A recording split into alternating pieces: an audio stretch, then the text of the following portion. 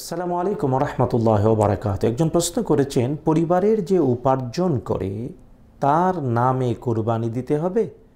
অথবা তার বাবা মায়ের নামে দিলে শরীয়তের কোনো বাধা আছে কি? কেননা পরিবারের বড় ছেলে উপার্জন করতে সক্ষম, কিন্তু বাবা উপার্জন করতে সক্ষম নয়। এই প্রশ্নের মধ্যে তিনটি জিনিস। এক নাম্বার হলো, কোরবানি নামে দেয়া। জেনে রাখা উচিত, আল্লাহ সুবহানাহু ওয়া তাআলা আল কোরআন আল করিমে চারটি জিনিস চিরন্তন হারাম করে দিয়েছেন। এর এক নাম্বার, মৃত চতুষ্পদ জন্তু। দুই নাম্বার, রক্ত। তিন নাম্বার, শুকুরের গুস্ত চতুর্থ, আল্লাহ তাআলা ছাড়া অন্য কারও নামে জবেহ করা হয় এমন জিনিস। কোরআন আল করিমের আয়াত হলো এইভাবে আউযবিল্লাহ মিনাশ শাইতানির রাজিম ইন্নামা হাররামা আলাইকুমুল মাইতাতা ওয়াদ-দামা ওয়া লাহমাল খিনজির ওয়া মা উহিল্লা লিগাইরিল্লাহি বিহ আল্লাহ তাআলা ছাড়া অন্য কারের নামে যদি জবাই করা হয় এটা হারাম তো আমাদের দেশে বলতে গিয়ে অনেকে ভুল বলি কোরবানি আমার নামে ছাগল আমার নামে গরুতে মা বাবা আপনজনের নামে এভাবে নাম বলি না সংশোধন হতে হবে নাম আল্লাহ তালার আল্লাহ তালার নামেই জবেহ আল্লাহ তালার নামেই কোরবানি। বলতে হবে পক্ষে, আমার পক্ষে, মায়ের পক্ষে, বাবার পক্ষে, পরিবারের পক্ষে। আরবি শব্দটাও আন আন, পক্ষ থেকে।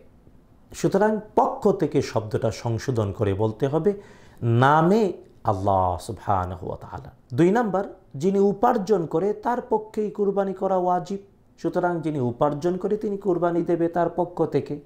হ্যাঁ তার পরিবারের পক্ষ থেকে উপার্জনে সক্ষম ব্যক্তি সক্ষমতা অনুযায়ী নিজের পক্ষে, পরিবারের পক্ষে কোরবানি দেবে। এবার তৃতীয় প্রসঙ্গ, যে বড় ছেলে উপার্জন করে মা বাবা উপার্জন করেন না। কোরবানিটা কি মা বাবার পক্ষে না যে উপার্জন করে তার পক্ষে? উত্তর হলো দুইটা। এক নাম্বার, যে উপার্জন করে তার উপার্জনে সক্ষমতা কি এতটাই বাস্তব যে সবার পক্ষ থেকে দিতে পারে? তাহলে সবার পক্ষ থেকেই দেবে।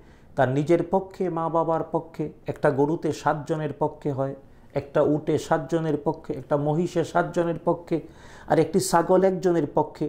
হ্যাঁ কিন্তু যদি সামর্থ্যটা সংক্ষিপ্ত হয় যে উপার্জন করে বড় ছেলে, সে কেবল একটা ছাগল দিতে পারে, অথবা গরু মহিষ উঠে সাতটা অংশের একটা অংশ দিতে পারে। তাহলে কি করবে? তাহলে যে উপার্জনে সক্ষম, উপার্জন যে করে তার পক্ষ থেকে, এটা সুস্পষ্ট।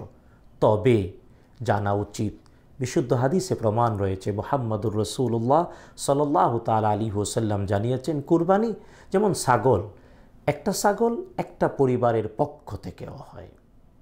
একটা পরিবার।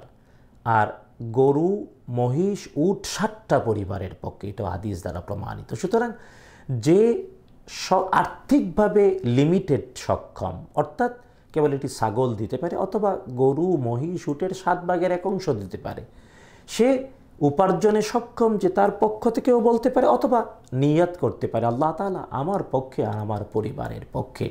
কারণ নিয়তের উপরেই সকল ভালো কাজের পরিণাম নির্ভর করে।